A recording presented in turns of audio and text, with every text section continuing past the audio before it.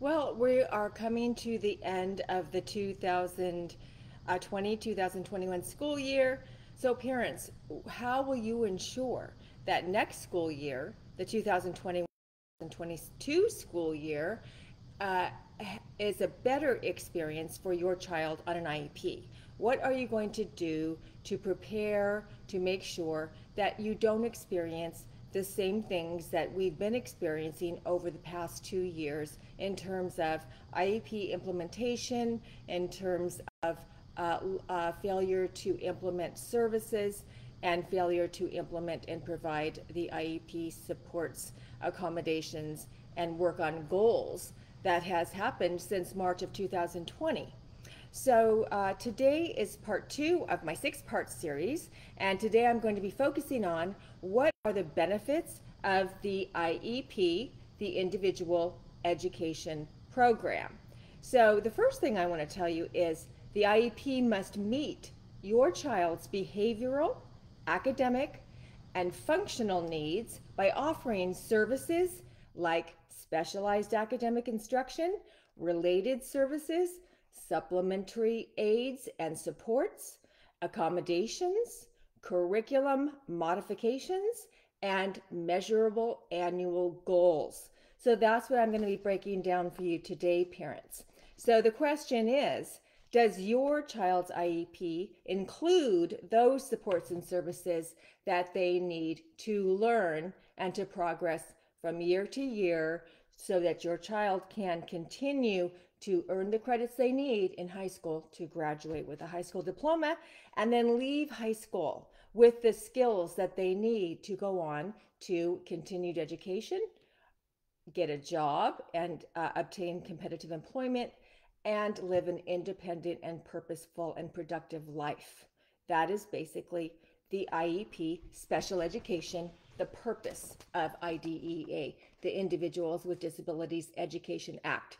So before I get started, parents, please leave your comments below because I'd love to hear from you, any questions you have, what you think about uh, these Facebook Lives, many, maybe something you want me to focus on or questions you might have.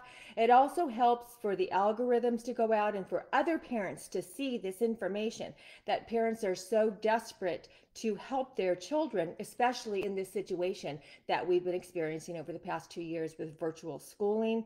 And if you like and share the video, it's even better because then parents are really going to be able to have access to this incredible and very valuable information for our kids on an IEP.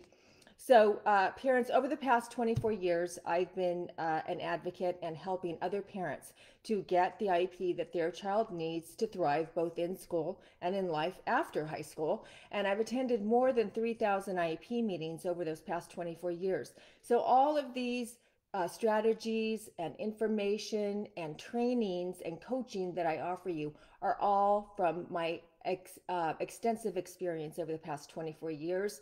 And I'm going to be covering some of that with you today as we focus on the benefits of an IEP. So, my point number one is guess what, parents? It's free. It's free to you, which is under FAPE, Free and Appropriate Public Education, FAPE, F A P E. All the services, all the supports the program, the education, the specialized academic instruction, everything I'm going to be breaking down for you today, it, it does not cost parents one penny because the local state special education funding covers whatever your child needs that is uh, needs to learn and to address whatever is impeding your child from their ability to learn and to access the general education curriculum. So, um, as I stated, the first purpose of the Individuals with Disabilities Education Act is to ensure that all students with disabilities have available to them a free, appropriate public education that emphasizes special education and related services designed to meet their unique needs and prepare them for further education, employment, and independent living. And that's right out of IDEA, a statute in IDEA. So, point number two is the IEP warrants assessment in all areas of your child's suspected disability. And these assessments can cost the district up to from anywhere between $2,000 and $7,000 for an IEE, which is an independent educational evaluation that you have the right to ask for when you disagree with a district assessment. So uh, sometimes parents, when I um, am uh, assisting uh, my clients with the development of their child's IEP, um, I will um, ask for many, many different IEEs because that's how you develop an, a special education program to meet the unique needs of a child.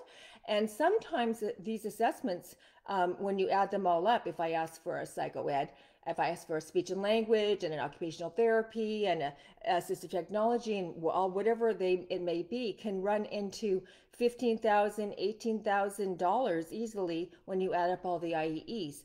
All that is free to the parent. The school district must provide that at no cost to the parent assessment. So uh, that is also a uh, the first and the most uh, form, foremost foundational step uh, in uh, developing an appropriate IEP to meet the needs of children. So the other thing I want to mention is IDEA requires schools to find and evaluate students suspected of having disabilities and of course, that that is also at no cost to parents. And what that means, this is called the law that's called child find. So every local school district is mandated to scan and watch for kids who may have a disability and then assess that child for uh, to see if they are eligible for special education. However, typically that does not happen. Typically, the parents are the ones that have to fight for their child to be assessed and be determined eligible for an IEP, but the IDEA warrants and requires schools to find and evaluate students of suspected having a disability, which is under child find. So that goes under assessment.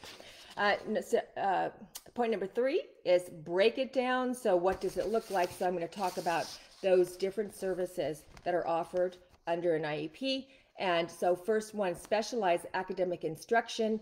It's the acronym is SAI.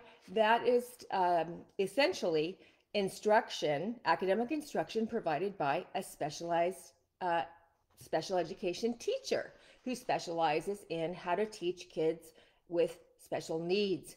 So you get um, specialized academic instruction, a frequency and a and a duration of time that that a special education teacher is going to work with your child, and that is documented on the IEP. So that's the first um, uh, support or service that falls under an IEP. The next one, related services. Now, related services is also sometimes called DIS, designated instructional services, but they're the same thing.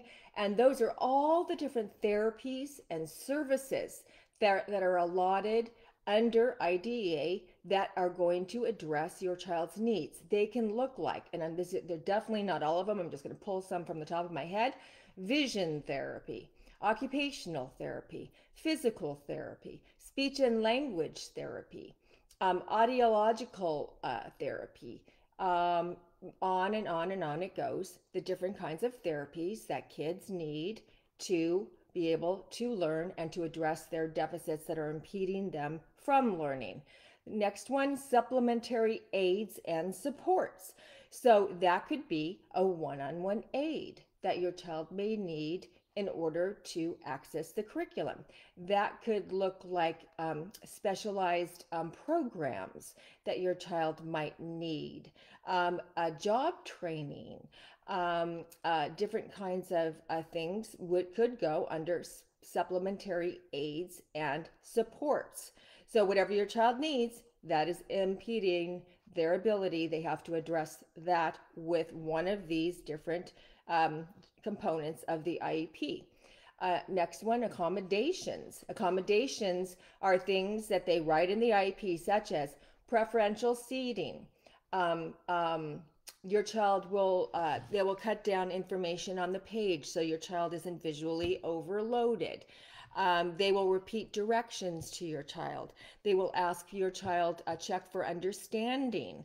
Many, many different kinds of accommodations that can be written in the IEP that have to be implemented and provided by general ed teachers and special ed teachers and the service providers in order for your child to make progress on their goals. That's accommodations. Accommodations do not take any curriculum and put it outside of the grade level or you know decrease the curriculum outside of the grade level. There are just accommodations that help your child access the general education curriculum.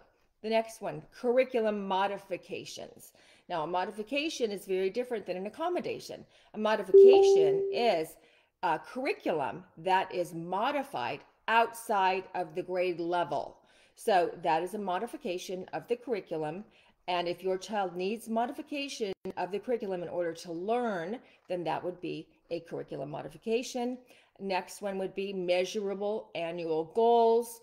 Uh, goals are imperative, um, measurable, specific, um, and uh, with uh, provided with data collection and um, and uh, um, monitoring progress monitoring on that goal.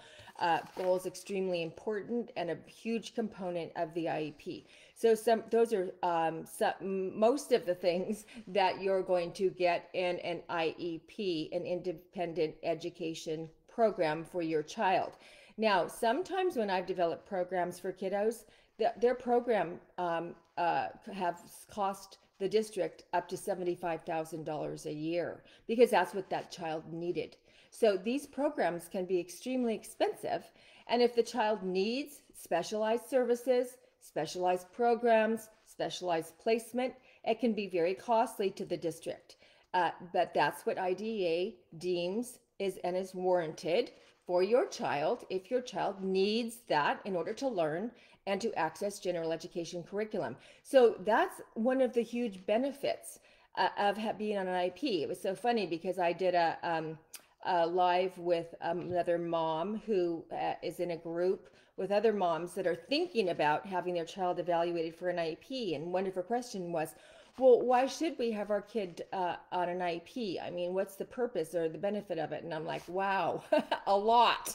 So that's why I want to go over this today because um, if your child isn't on an IEP and they're not addressing their unique needs that impede their ability to learn, they're not going to learn and their their their deficits and disability is not going to be addressed and most likely they're not going to graduate high school because they won't be able to earn the credits they need to pass classes in high school because they're not going to be able to learn so uh, an iep at the fourth uh, point i have to make is school versus medical or home-based programs so a school service and a home service that is done through a parent's medical uh, insurance pays for it or the parent pays for it out of pocket.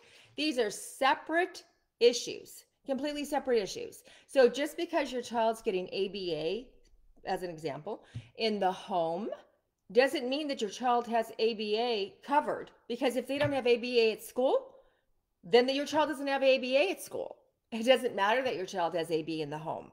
So a lot of parents get, you know, think of one big program, whatever the insurance is covering, or maybe regional center is covering, or some other agency is covering, and then they mix it up with school and the IEP and think of it as one, but it's not. The IEP still is mandated to meet your child's unique needs in the school, in education. Home based services are something, a completely different animal. Home based services are community, and home and um, social uh, after school. It has nothing to do with school. So if you, because if you might get your child's speech and language, pay for some speech and language outside of school, that doesn't mean your child's getting speech and language through the school district. And a speech and language pathologist needs to be sitting on your IEP team if your child has uh, deficits in speech and language. So the IEP team is completely different and your child's needs to be met during the school day separate from home-based services. So um, that's, uh, you know, many of the benefits uh, of Kids on an IEP. I'm going to be uh, doing four more um, uh, series, uh, four more uh, Facebook Lives on this topic about the IEP parents so that you can start to think about how you're going to address your child's IEP for the upcoming school year.